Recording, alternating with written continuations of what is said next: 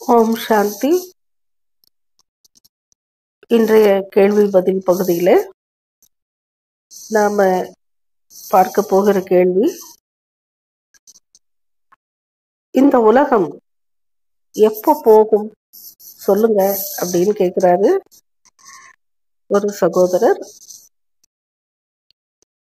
இந்த உலகம் எப்போ போகும்னா ரெண்டு விஷயம் இருக்கு இல்லையா? ஒண்ணு விஞ்ஞானம் சொல்ற மாதிரி அந்த ஒரு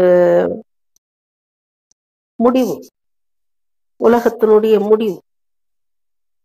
அப்படியே சுருங்கி எப்படி பிக் பேங்கால வெளிப்பட்டதோ அதே போல இப்போ ஒரு பிளாக் ஹோலுக்குள்ள எல்லாமே திரும்ப ஈர்க்கப்பட்டு இந்த சூரியன் ஆஹ், ஒவ்வொன்றையும் அப்படி கிரகிக்கும் ஒன்று ஒன்று கிரகிக்கும் ஒரு அதாவது விரிச்சு போட்டதெல்லாம் திரும்ப மடிச்சு எடுத்துக்கிட்ட மாதிரி திரும்பவும் எல்லாம் சுருங்கி காணாம போயிடும்.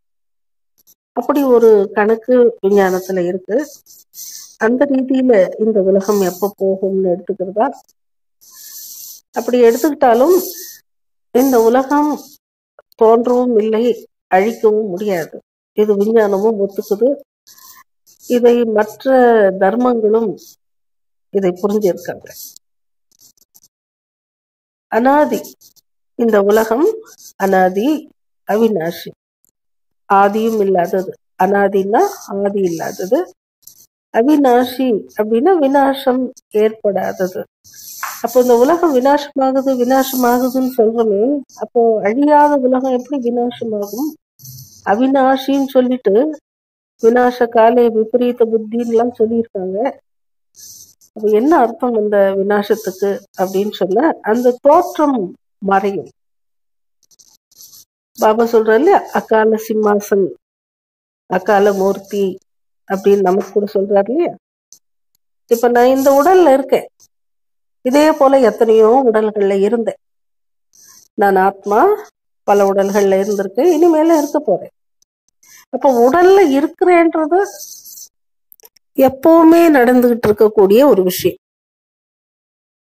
அதுவும் உடல்ல இருக்க போறேன்.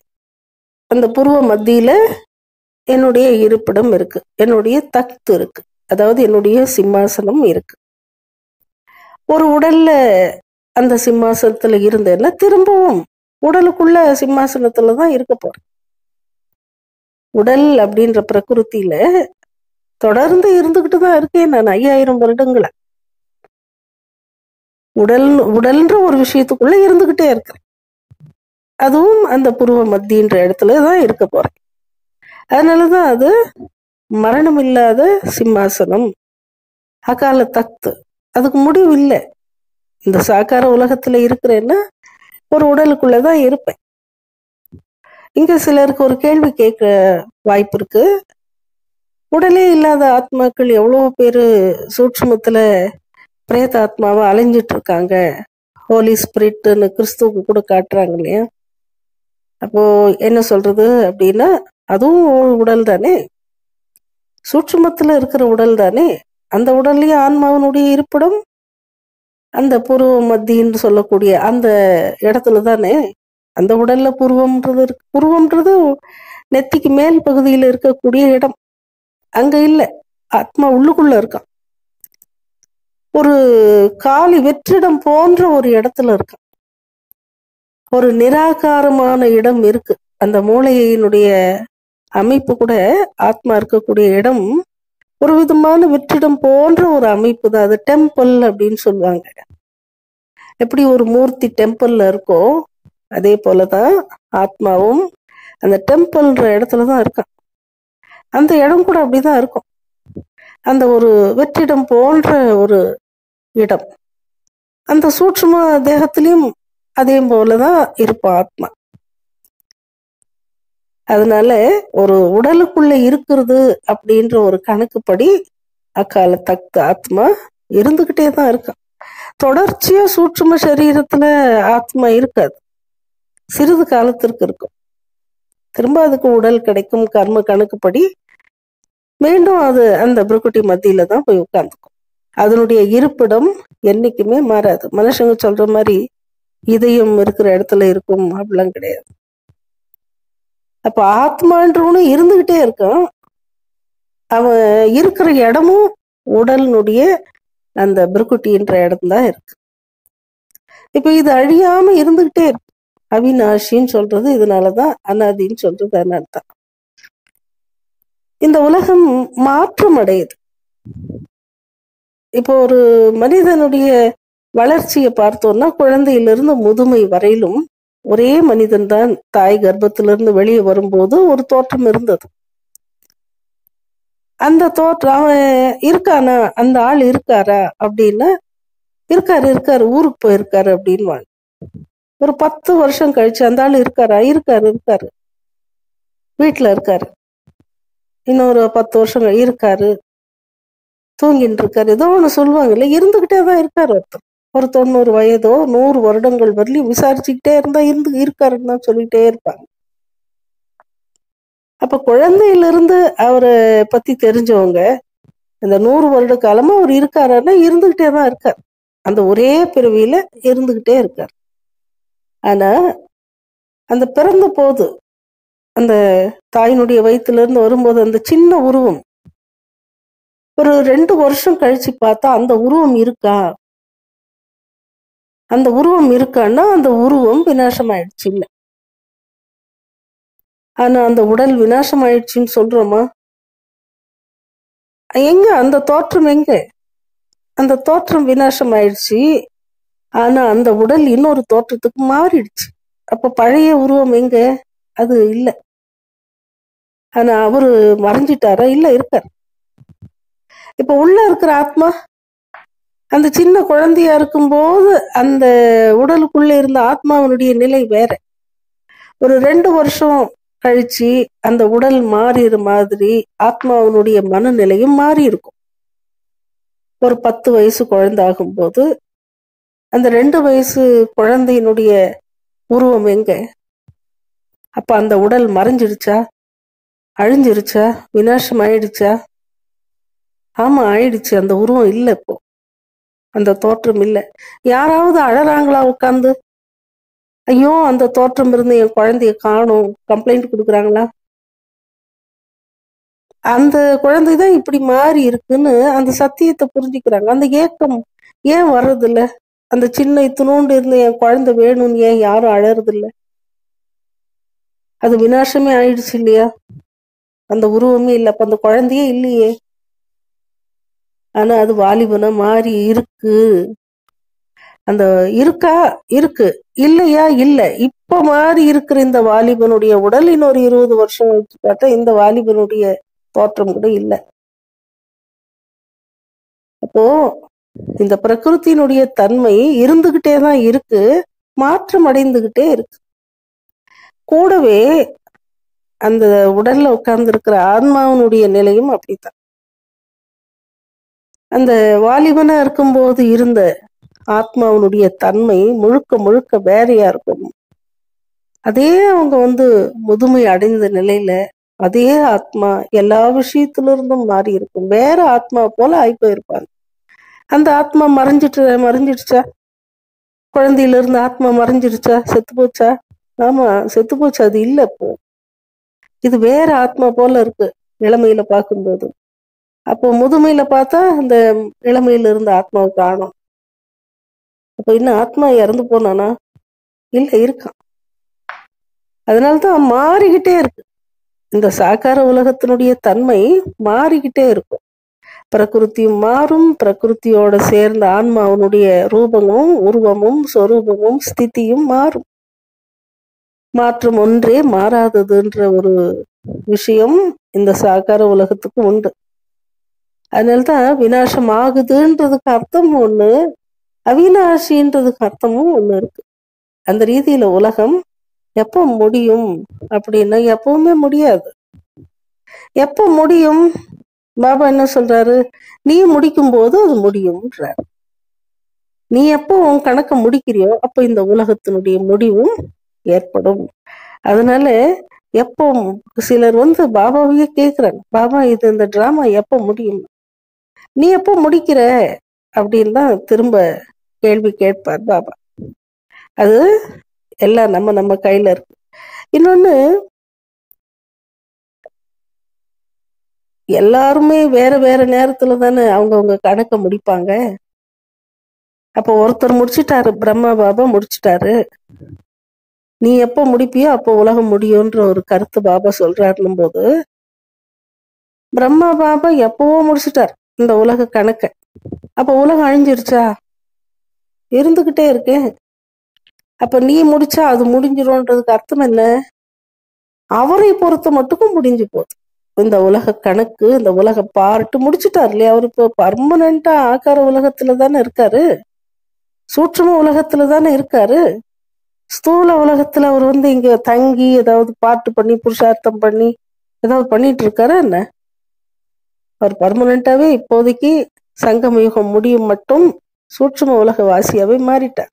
அதனால்தான் அறை மாறி போச்சு உடல் அதாவது ஆடை மாறி போச்சுன்னு அவர் சொல்றார். அறைன்றது என்ன? உலகம். சாக்கார உலகத்தினுடைய ரோல் ஆக்கார உலகத்துக்கு மாறி போச்சு. சாக்கார ட்ரெஸ் போட்டுட்டு இருந்த நான் ஆக்கார ட்ரெஸ்ஸுக்கு சேஞ்ச் ஆயிட்டேன்றாரு அறையும் மாறி ஆடையும் மாறி இருக்கு. ஆனா நான் அப்படியே தான் இருக்கேன் நான்ன்றது இருக்கேன். உங்க கூட தான் இருக்கேன். எங்கேயும் போக முடியாது உங்களை விட்டுட்டு அப்படின்றார். அப்ப அவருக்கு பொறுத்த மட்டுக்கும் இந்த சாக்கார உலகம் முடிஞ்சு போச்சு. சொல்றார் இல்லையா பாபா? நீங்க இறந்துட்டீங்கன்னா ஆப் மறைத்தோ துனியா கூட என்ன ஆயிடும்? அதுவும் செத்து போகும்னு. இந்த உலகம்னு சொல்றது எது அப்படின்னு சொன்ன இன்னொரு ரூபத்துல இப்ப நாம வந்து ஒரு பத்து பிறவிக்கு முன்னே ஏதோ ஒரு ஊர்ல யாரோ சிலரோட இந்த இது என் வீடு இது என் வயல் இது என் நிலம் இது என் ஆஸ்தி இவங்கெல்லாம் என் சொந்தக்காரங்க. இப்படி எல்லாம் வாழ்ந்திருப்போம் இல்லையா? ஒரு அடையாளங்களோட. அந்த பிறவிக்கான ஒரு உலகம் ஏற்பட்டிருப்போம் இல்லையா? பார்ட்டுக்கான ஒரு உலகம். ஒரு அடையாளங்கள். அதாவது நாம இங்க இருக்கோம் அப்படின்னு சொன்னா நம்ம சென்னையில இருக்கோம் அப்படின்னு சொன்னா நான் சென்னையிலே பிறந்து சென்னையிலே வளர்ந்து சென்னையிலே வாழ்ந்துட்டு இருக்கேன் அப்படின்னு சொன்ன அப்ப என்னுடைய உலகமே சென்னையை சுற்றி தான் இருக்கு. நான் அந்தமான் நிக்கோபார் லட்சத்தீவுகள் பத்தி நான் எனக்கு தெரியாது. என்னுடைய உலகத்துல அது இல்லை. அதாவது வாழ்க்கைன்ற வட்டத்துக்குள்ள அதெல்லாம் வரல. அப்ப இந்த ஒ- இந்த பிறவியை முடிச்சுக்கிட்டு ஆத்மா அந்த உடலை விட்டு நீங்கும் போது அந்த குறிப்பிட்ட பகுதிக்கான தன் பார்ட்டு முடிச்சுக்கிட்டு இன்னொரு ஆப்பிரிக்காவிலயோ ஆஸ்திரேலியாவிலயோ போய் பிறக்குதுன்னா அங்க ஒரு வேற உலகம் தயாராகும் அப்ப பிறவிக்கான உலகம் வேற வேறையா இருக்கு. மொத்தமாவே கணக்கே முடிச்சிட்டேன். கர்மாத்தி தாயிட்டேன் அப்படின்னா இந்த உலக வாழ்க்கை கணக்கே முடிச்சிட்டு உலகத்துல இருந்து விலகி பிரம்மா பாபாவை போல மாறி போறதும் உண்டு. நாம ஒவ்வொருத்தரா இப்படி நம்ம நம்ம கணக்கு முடிக்கும் போது நமக்கு இந்த உலகத்தினுடைய கணக்குகள் நம்ம பொறுத்த வரைக்கும் இந்த உலகம் முடிஞ்சு போச்சு. அப்ப எல்லாருமே இறுதி நேரத்தை தொடும் போது என்ன ஆகும் சொர்க்கத்துக்கு போக வேண்டிய குழந்தைகள் எல்லாருமே அவங்கவுங்களுடைய சம்பூர்ண நிலையை அடையும் போது கர்மாத்தீத்த நிலையை அடையும் போது இவங்க தான் ஆதாரமூர்த்தி. இந்த ஆதாரமூர்த்திகள் அவங்களுடைய போர்ஷனை முடிக்கும் போது அன்னைக்கு தான் என்ன ஆகும் இந்த முழு உலகம் நரகம்ன்ற அந்த தோற்றம் மொத்தமா மாறி போய் ஒரு அடையாளம் கூட இல்லாத அளவுக்கு இன்னொரு உலகம் தயாராகுது. அன்னைக்கு தான் நம்ம சொல்லலாம் இந்த உலகம் போயிடுச்சுன்னு. இப்ப இருக்கிற இந்த உலகம் போயிடுச்சுன்னு சொல்லலாம். இது புது உலகம் வருது அப்படின்னு சொல்லிக்கலாம். ஆனா இயற்கை இறந்து போச்சா? குழந்தை வாலிபனாய் வாலிபன் முதுமையான மாதிரி சொர்க்கம் இருந்தது நரகமா மாறுச்சு. நரகமா இருந்தது திரும்ப சொர்க்கமா மாறுது. பகல் இரவு மாறி இரவு பகலா மாறுது. அந்த சொர்க்கத்திலேயே பாத்தீங்கன்னா சூரிய வம்சம் சந்திர வம்சமா மாறி போகுது அந்த உலகமே மாறி போச்சு அந்த சூழ்நிலைகள் மாறி போச்சு அரசாங்கம் மாறி போச்சு ஆனாலும் அவங்க தேவதைகள் தான். துவாபர யுகத்திலிருந்து நரகம் ஆரம்பிச்சதுன்னா துவாபர யுக நரகமே வேற கலியுக நரகமே வேற. நரகத்திலையும் ரெண்டு விதமான நரகம் இதனுடைய தோற்றம் கூட மாறி போகுது மொத்தமாவே மாறி போகுது இந்த இயற்கையினுடைய மொத்த தத்துவங்களினுடைய அந்த நிலை மாத்தி சத்துவ பிரதான நிலைக்கு முழுமையா எல்லா விஷயமும் சத்துவ பிரதான நிலைக்கு மாறுது அப்படின்னும் போது முழு உலகம் இப்போ இருக்கிற உலகம் போயிடுச்சு. அது எப்ப ஆகும் நாம முழுமை அடையும் போது இது முழுமை அடையும். அதனால இது வினாஷின்னா வினாஷி தான். எப்போ வினாசம் ஆகும் அப்படின்னா பாபா சொல்றாரு கடந்த இறந்த காலம் அப்படின்னு ஒண்ணு சொல்லுவோம் இல்லையா? போன செகண்ட பத்தி நம்ம பேசணும் அப்படின்னாலும் அது இறந்த காலம் தான் சொல்லுவோம். அப்ப அந்த அந்த பாபா சொல்றாரு முழு உலகத்துல பல முறை சொல்வார். இப்ப மலை மேல இருந்து ஒரு போட்டோ ஷூட் பண்றாங்க அப்படின்னா கீழே வந்து தரைப்பகுதியை பார்த்து ஒரு போட்டோ எடுக்கிறாங்க அப்படின்னா அந்த செகண்ட் அவங்க போட்டோ எடுக்கும்போது எந்த காட்சிகள் இருந்ததோ அடுத்த செகண்ட் இன்னொரு போட்டோ எடுத்த காட்சிகள் மாறி இருக்கும் லெப்ட்ல பாத்துக்கிட்டு இருந்தவர் ரைட்டுக்கு திரும்பி இருப்பாரு உட்கார்ந்து இருந்தவர் எழுந்திருப்பாரு.